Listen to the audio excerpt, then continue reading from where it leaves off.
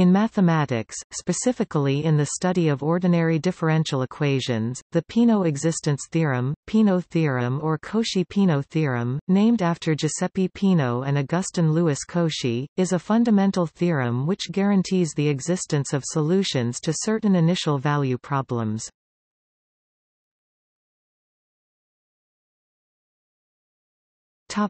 History Peano first published the theorem in 1886 with an incorrect proof. In 1890 he published a new correct proof using successive approximations.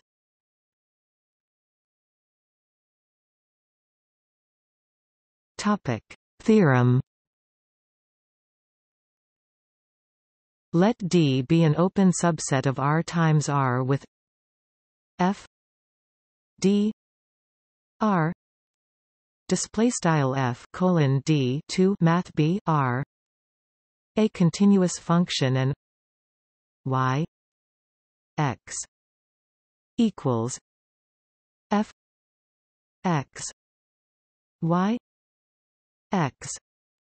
Display style y x equals f left x y x right a continuous, explicit first-order differential equation defined on D, then every initial value problem y x 0 equals y 0 display style y left x underscore 0 right equals y underscore 0 for f with x 0 y. 0 element of d. Display style x underscore 0 y underscore 0 in d. Has a local solution. Z. I. R. Display style z colon i 2 math b r. Where? I.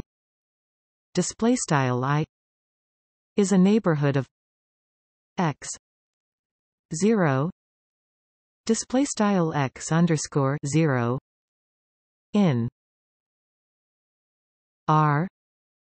Display style math b r. Such that z x equals f x z x display style z x equals f left x z x right for all x element of i display style x in i the solution need not be unique, one and the same initial value x0, y0 may give rise to many different solutions z.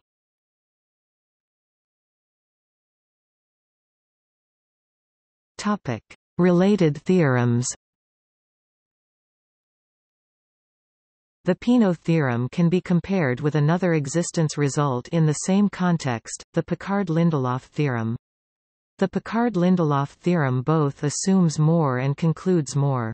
It requires Lipschitz continuity, while the Peano theorem requires only continuity, but it proves both existence and uniqueness where the Peano theorem proves only the existence of solutions.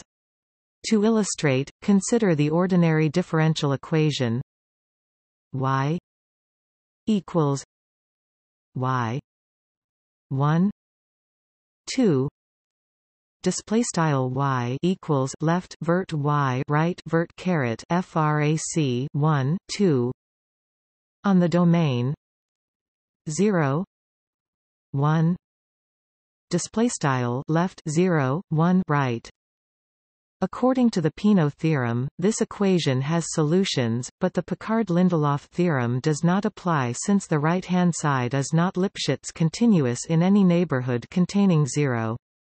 Thus we can conclude existence but not uniqueness. It turns out that this ordinary differential equation has two kinds of solutions when starting at y 0 equals 0 display style y 0 equals 0 either y x equals 0 display style y x equals 0 or y x equals x 2 4 display style y x equals x caret 2 4 the transition between y equals 0 display style y equals 0 and y equals x minus c 2 4 display style y equals x c caret 2 4 can happen at any c the Carathéodory existence theorem is a generalization of the Peano existence theorem with weaker conditions than continuity. equals equals Notes